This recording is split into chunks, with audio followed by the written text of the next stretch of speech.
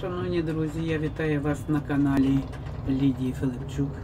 Сьогодні я працюю на першому трамвайному маршруту, який з'єднує головний вокзал з вулицями Степана Бандери, Коперніка, проспекту Свободи, Підвальної, вулиці Івана Франка, Сахарова зворотньому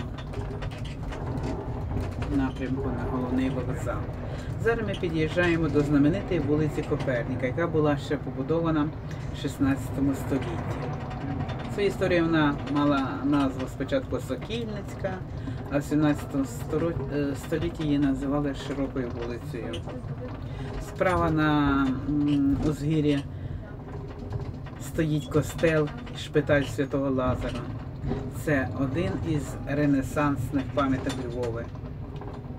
У 1621 році тут був шпиталь, а пізніше у 1634-640 роках, роках костел. Як ви бачите, що цей костел оточений мурами, храм має яскраво виражений оборонний характер. Це споруда е, проста у своїй будові, лаконічна, немає декоративних прикрас. Вона є унікальною для львівської архітектури, тому що розташування трьохярусних квадратних веж, які примикають до північної і південної сторін апсиди костьолу. Під храмом ми бачили за рекламою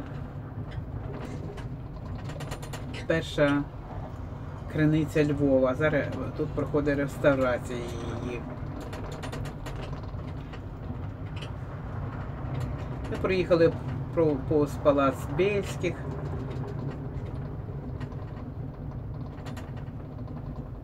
А з лівої сторони ми палац знаменитий Леона Сапєги, який був маршалом, маршалом Галицького сейму. Під'їжджаємо до зупинки головна пошта. Справа відніється від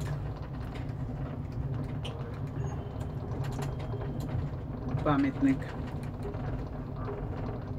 Маркіяну Шашкевичу. Як ви знаєте, він сповідував у своїй творчості ідеї єдності українського народу.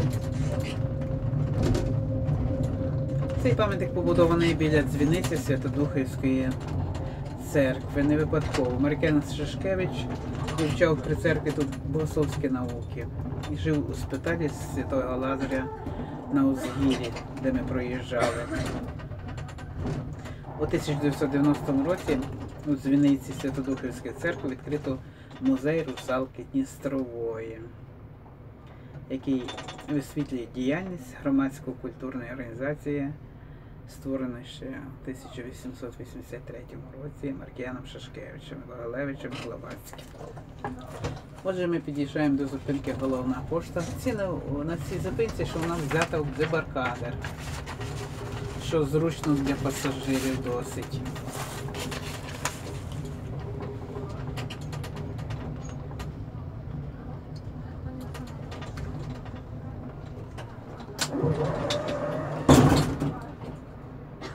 Наступна зупинка у нас буде центр Дорошенка.